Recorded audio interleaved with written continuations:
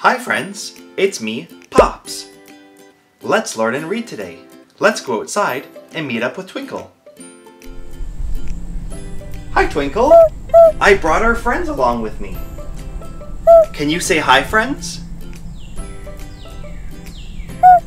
Twinkle loves that. I have a question for you at home. Have you ever told a story before? Or has anyone ever told you a story? Tell us some of your favorite books or stories. Oh, that's a good one. I love all of those stories, friends. Stories can be full of wonder, adventure, excitement, or magic. Stories have been around for thousands of years, and they used to be done through cave paintings. But today, most stories are told through someone talking, books, plays, movies, or even music. They have a beginning, a middle, and an end. Would you like me to tell you a story at home? Let's make this story magical.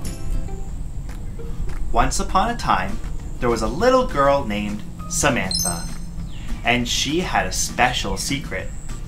Samantha had a piece of chalk.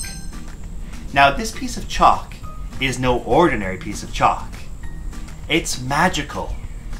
You're probably thinking, how can a simple piece of chalk be magical? Well, whenever Samantha would draw a picture on her front sidewalk, that picture would come to life.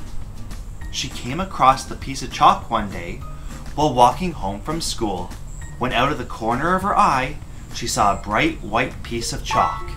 She reached down to pick it up and as her fingers wrapped around it, it began to change color. But not just any color, the color she was thinking about in her head. She looked up at the bright blue sky, and the chalk turned blue. She looked down at the green grass, and the chalk turned green. Samantha was in such amazement, she ran as fast as she could all the way home. Samantha discovered, when she started to draw the chalk on her sidewalk, that not only did the colors change, but the pictures began to move. So when she drew a kitty cat, the cat began to walk around on the sidewalk, curling up next to her toes. And when she drew a race car, the car vroomed to life, racing down the pavement, turning left and right and winding through her legs towards the finish line. She would draw everything her imagination could think of. From unicorns dancing on top of rainbows, to dragons swooping through the clouds, ready to battle a handsome prince. But her best creation of all was a little girl named Chalk Girl. Samantha drew her with a bright pink dress and purple hair that twisted down all the way to her toes. She loved to draw Chalk Girl doing all sorts of activities. But one day, it started to rain, and Samantha watched from her house as all of her magical chalk drawings got washed away. Samantha was very sad. All of her hard work was gone, along with her friend Chalk Girl. The next day, after it stopped raining, Samantha went back outside to find the blank sidewalk, with no magical chalk drawings. But as she stood there, Samantha thought to herself, saying, Hey, all of my chalk drawings came from my imagination.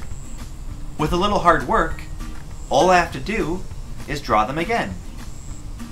So off she went, redrawing all of her magical creations, including her friend Chalk Girl. Only this time, she drew it all under an umbrella. The end. Did you like my story?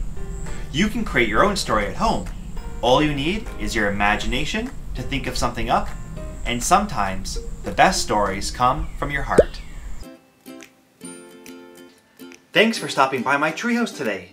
Twinkle and I had a blast telling stories with you and learning all about your favorite stories.